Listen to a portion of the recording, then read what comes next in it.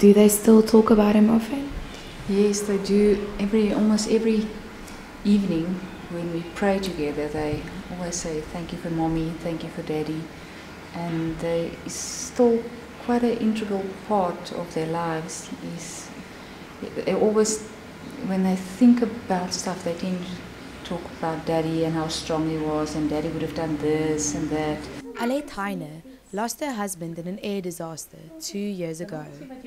Erich died along with more than 200 other passengers who were on board an Air France flight. In her house in Somerset West, she told You magazine about her sorrow and raising children without a father. For me, of course, the worst is that um, he loved his kids so much, and that's something that you can't replace.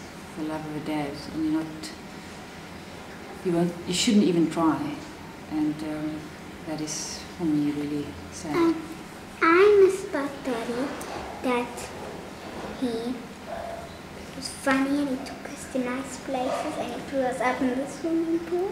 Yes. I, I miss, I miss that Daddy when, um, when we swapped chairs because my chair was better than Daddy's.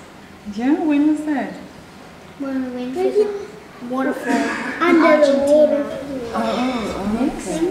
And when there was a scary movie, put it off. Yes. He let us watch scary movies and I liked that. Oh, and you didn't. No, I